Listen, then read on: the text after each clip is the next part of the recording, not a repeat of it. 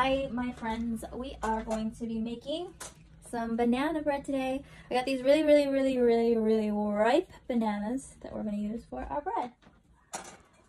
If you guys want to also make banana bread, the recipe that we're using today is on Allrecipes. But for this, we'll need two cups of all-purpose flour that we have here. And we need one teaspoon of baking soda. We'll need a uh, fourth of a teaspoon of salt, butter, three fourths cup of brown sugar, and we need two eggs beaten and the bananas. And we'll mix it all together. We're adding two cups of flour to our bowl. Lily already has added the two, the one teaspoon of baking soda, dry ingredients.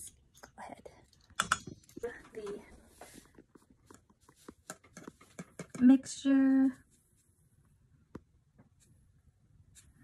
Perfect. All right, next we're gonna add a whole stick of butter, which is half a cup. Want to mix this with the brown sugar, and then we're gonna add it to our dry ingredients, my friends.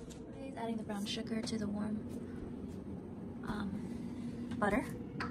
We have the bananas covered in flour. We are going to now add the eggs and the creamed brown sugar into the dry ingredients.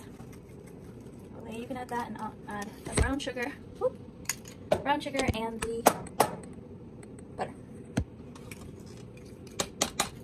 Aleayah is going to crack the egg. Here. It's a little messy now, but we did the other egg. And then we're gonna crack the next egg.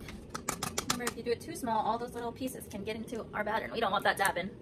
There's a little bit of a shell that we are gonna take out. Now Aleayah is mixing all the ingredients together and I'm going to add some vanilla flavor and Aleayah will keep mixing.